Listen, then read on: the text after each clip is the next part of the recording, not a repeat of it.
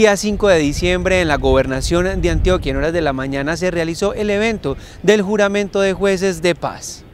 Los jueces de paz es una apuesta constitucional que en su inicio nadie creía en ellos, pero los que han trabajado con dedicación, entusiasmo y pasión han logrado transformar familias, eh, vecinos, eh, barrios, comunas, veredas. Los jueces de paz que están acá son, aunque Antioquia no sepa, son gente que procede de lugares más apartados del departamento. Hay jueces de paz que están en veredas que tienen que transportarse ocho, nueve horas en mula para estar acá Tuvieron que empezar a viajar desde ayer a las 10 de la mañana muchos de ellos. Son 19 municipios de Antioquia que cuentan ya con jueces de paz, quienes apoyarán la justicia formal y que también ayudarán a la convivencia de estos municipios. La justicia, la convivencia necesitan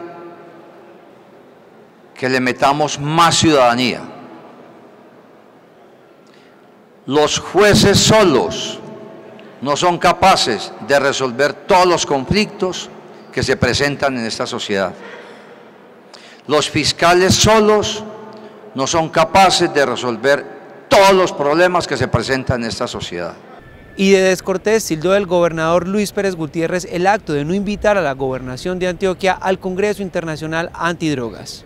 En el día de ayer se inició entonces un evento internacional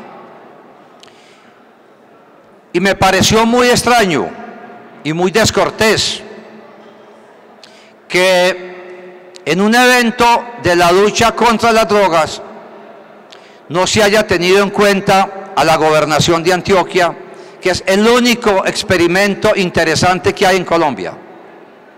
Lo demás es, más de lo mismo inefectivo e ineficiente y más de 200 personas juraron ser jueces de paz para velar por la convivencia y la justicia formal de los municipios del departamento, informó para CNC Noticias Daniel Cañas con la cámara de Tatiana Palacio.